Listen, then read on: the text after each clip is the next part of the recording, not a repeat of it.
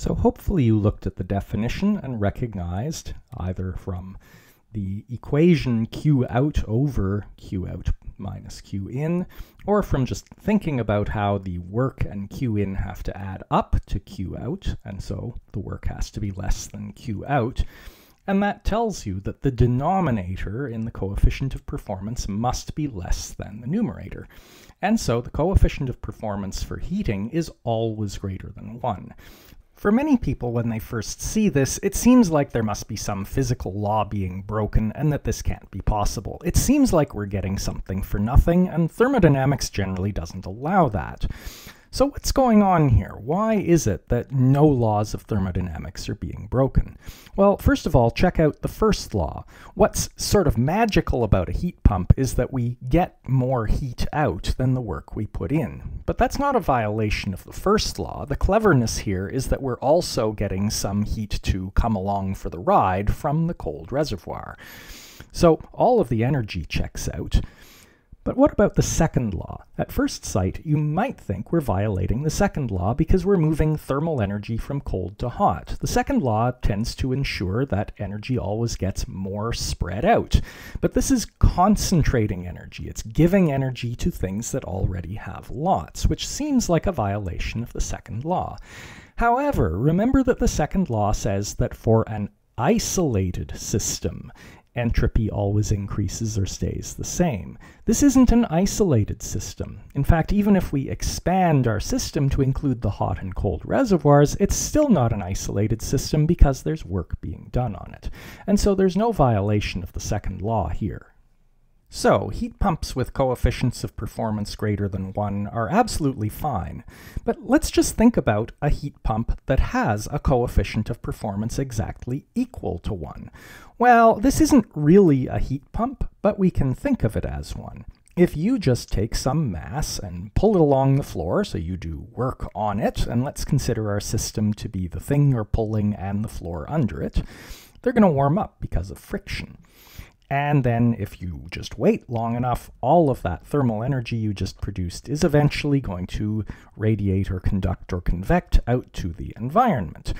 And so if you wanted to, you can think of this as a heat pump, but it is the worst possible heat pump where there's no thermal energy in from a cold reservoir. And so this has a coefficient of performance of 1.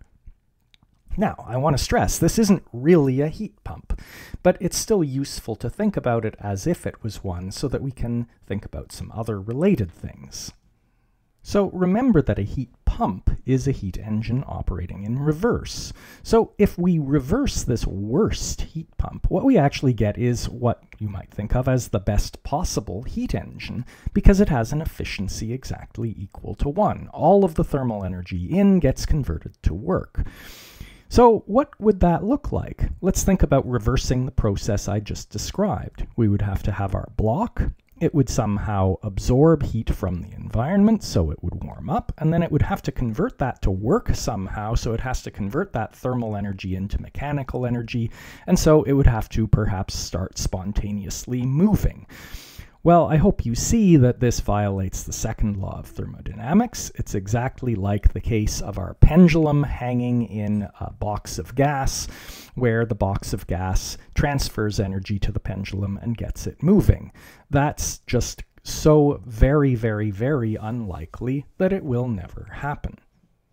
Okay, so this particular reverse process won't work to make a heat engine with efficiency 1. But what if we were really clever? This isn't telling us that there isn't any way to make a heat engine with efficiency 1. So let's imagine that we could and think about something we could do with it. So imagine we take our heat engine with an efficiency of 1 and we use it to drive a heat pump. So we're taking some energy in from the hot reservoir into the heat engine. All of that is converted to work, which is given to the heat pump, which transfers some thermal energy from the cold reservoir to the hot. But recognize that the net effect of all of this is just a flow of thermal energy from the cold reservoir to the hot. And if we define our system as the heat engine, the heat pump, the hot reservoir, and the cold reservoir, this is now an isolated system. And it's an isolated system where thermal energy is going from cold to hot, which is meaning this is evolving from more likely states to less likely states, and that is a violation of the second law of thermodynamics. So this, in fact, shows us that a heat engine with an efficiency of 1 is impossible, because if any such thing existed, it would allow us to violate the second law of thermodynamics. Remember that heat engines aren't just made by people, they exist in nature too, and so statements about heat engines are pretty fundamental to physics, and so this is often used as an alternate statement of the second law of thermodynamics. It's called the Kelvin-Planck statement and it says that it is impossible for a process to exist which takes in a quantity of heat from a single heat reservoir and converts all of it to work. Or, to put it more simply, no heat engine can have a thermodynamic efficiency of 1. But if a heat engine with an efficiency of 1 is impossible, then a logical next question to ask is what is the best efficiency possible for a heat engine? Well, if this were a full thermodynamics course, we would be able to derive this, but I'm just going to state it because we don't have a month to spend on this. There is such a thing as a Carnot heat engine, which is an idealization, which is the best possible. And it has an efficiency given by this formula.